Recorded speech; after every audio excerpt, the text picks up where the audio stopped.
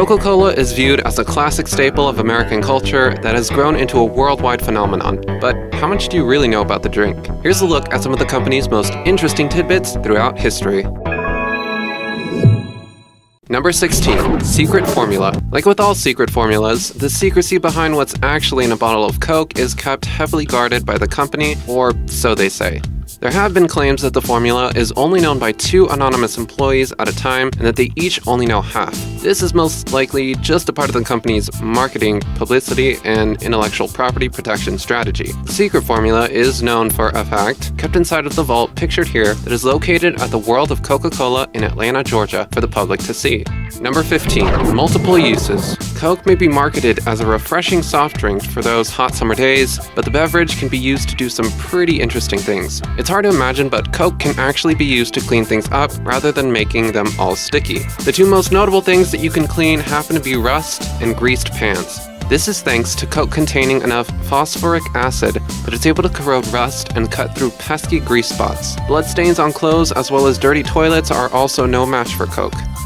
Number 14. Coke and Santa Claus. There's been a gross misconception that Coke invented Santa Claus, floating around the internet, or to be more specific, the modern day image of Santa that we all know and love. This fallacy is due to the fact that back in 1931, the Coca Cola Company hired a commercial illustrator by the name of Haddon Sundblom to help them increase their winter profits. Sundblom created a string of drawings that depicted St. Nick the way that we associate him today. The truth is, there were depictions of modern day Santa in advertisements created long before Sundblom's, some 25 years earlier.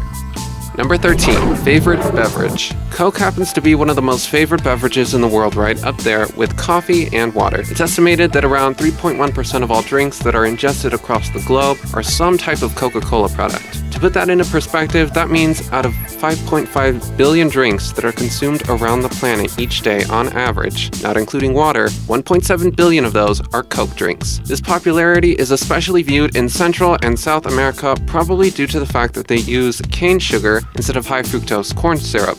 Number 12. Dozens of choices. Coca Cola has come a long way since its earliest form, when the company only sold one variation of the drink. Today, there are several different types of Coke to choose from, like Diet Coke and Coke Zero. Not only that, but Coca Cola has also branched out to sell other forms of beverages like juices and energy drinks. In total, it's estimated that the Coca Cola Company owns more than 500 different brands and amasses somewhere to around 3,500 different drinks. If you tried one for each day of the year, it would take more than 9 years to try them all. A few of these other drinks include Dasani Water, Sprite, and Powerade, though Coke remains the most popular one. Number 11. Coke versus tap water. It was back in July of 2001 that a man named Rob Cockerham stumbled upon an article detailing how Olive Garden was successful in a pretty interesting way. He posted the article on his website cockeyed.com where it blew up. Apparently, the restaurant employed a new tactic that persuaded customers who ordered tap water into changing their minds to soda. The article posted by Surprise, the Coca Cola Company, was a look into the brand's very real H2No campaign. It was geared towards getting restaurant diners to order alternative drinks if they ordered water. Waiters were trained in using, quote, suggestive selling techniques when a customer ordered water. The backlash was immense, and the company removed the article from their website and dropped the campaign altogether. Number 10. Coke and Martin Luther King Jr. Back in 1964, when Martin Luther King Jr. won the Nobel Peace Prize for Human Rights, the citizens in his native home of Atlanta, Georgia were none too pleased. The city itself was honoring Dr. King with a congratulatory dinner party, yet none of the tickets were being purchased by the city's elites who were sent invitations. Ivan Allen, the city's mayor at the time, pleaded with the former president of Coca Cola, Robert Woodruff, to step in and do something. Woodruff reached out to CEO J. Paul Austin, who then threatened to move the company out of Atlanta as an ultimatum directed towards the racist white elites. The dinner ended up having almost 1,600 guests and went on as if there was never a problem in the first place. Number 9. Olympic Sponsors The official sponsor of the Olympic Games, Coca-Cola is also recognized as being the oldest sponsor since it was first introduced as such back in 1928. While this does seem like a prestigious honor, it has come with its fair share of controversy, mostly brought on by the company itself. Of course, the most infamous one being when the company still decided to sponsor the 1936 Olympics held in Berlin. The most recent controversy was when the company also went through with sponsoring the 2014 Sochi Winter Olympics, despite the outcry denouncing Russia because of its anti-LGBTQIA stance. Number 8. Coke and North Korea. North Korea just so happens to be one of the few countries due to the fact that the United States has several sanctions placed on the country because of the justified allegations against North Korea, abusing human rights, and also because of the country's nuclear program. The sanctions have been in place since the first one was introduced back in 1950. This hasn't stopped the country from trying to get their hands on the drink. Apparently, Coke that is bottled in China can be found casually about in North Korea's capital, Pyongyang, and the airline Air Koryo has even manufactured their own knockoff brand of cola. Number 7. Worth its weight in gold. Fact. The Coca Cola Company makes a lot of money. So much so that it's been estimated that the company makes around 35.1 billion each year, on average. As of last year, the brand value for Coca Cola was generated at being 78.14 billion US dollars, which is a little less than 2016's 80.31 billion US dollars. That's way more than Starbucks, Red Bull, Pepsi, and Budweiser put together.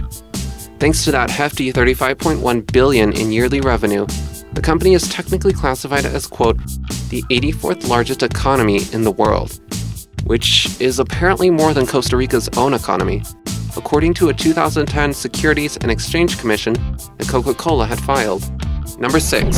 Medicinal Coke. Before Coca Cola was just a simple soda, it was once advertised as a medicinal tonic to, quote, cure ailments such as headaches, impotence, and specifically those who were addicted to morphine. Today, you couldn't treat any of those things with the modern Coke formula, but there is another condition that the soda can help ease. Individuals who suffer from asthma can potentially benefit from drinking anything that is a source of caffeine, like Coke or coffee, during an attack. The caffeine will metabolize into theophylline, a drug that was used to treat asthma, as it causes the airways to relax. It's better to get the caffeine from tea or coffee, but most people have Coke on hand. Number 5. Contaminated Coke. It seems unfathomable to imagine that a company you're supposed to trust is actually poisoning you and you have no idea that it's happening. That was the reality for the population of India. The Center for Science and Environment, CSE, of New Delhi, had conducted an investigation and had several of Coca-Cola's drinks, also Pepsi's, tested from 25 different bottling plants. The CSE discovered that all the samples contained an amalgam of 3 to 5 different cancerous pesticides. Not only that, but the company even admitted that it was also responsible for contributing to India's already growing water scarcity, where just two years ago the company was forced to close a bottling plant located in North India due to activist pressure.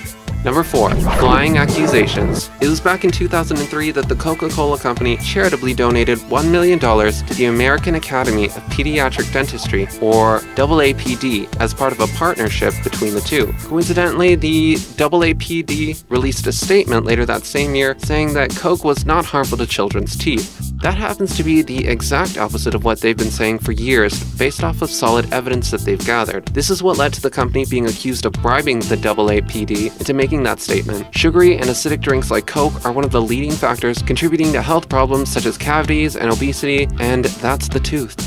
Number 3. Coca-Cola and sugar rations. Between the time of 1914 and 1918, the Coca-Cola Company took a major dent due to sugar rations, but managed to bounce back and was the leading drink during 1939 and 1945. This was strongly due to the company's efforts to provide military soldiers with massive amounts of the sweet stuff. The soldiers claimed that the drink would act as a sort of pick-me-up while they were out on the front lines. During the middle of 1942, the Coca-Cola Company was thriving thanks to the sugar rations that the United States had placed and were exempt from. Other soft drink companies unfortunately weren't as lucky.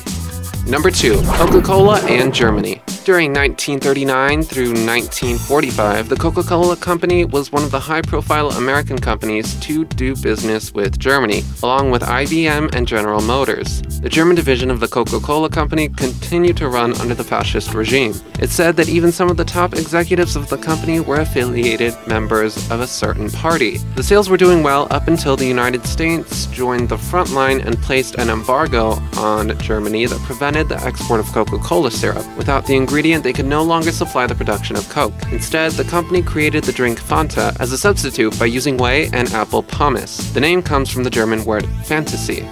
Number 1. Origin Story Coca Cola didn't always start out as a sugary drink that the public has come to love these days. It was first invented back in the mid 1880s by a man named John Pemberton after he sustained a saber wound to his chest during the American Civil War. Because of his immense pain, he ended up developing an addiction to morphine. As a pharmacist, he was able to create his French wine Coca Nerve tonic derived from coca leaves and extract from the cola nut, which is how the name Coca Cola came to be. This supposedly helped him with the pain. Now that we've shed a little more light on the subject, are you a die-hard Coca-Cola fan or are you a true Pepsi stan until the end? Let us know down below in the comment section, and while you're there, don't forget to subscribe to see more awesome videos like this.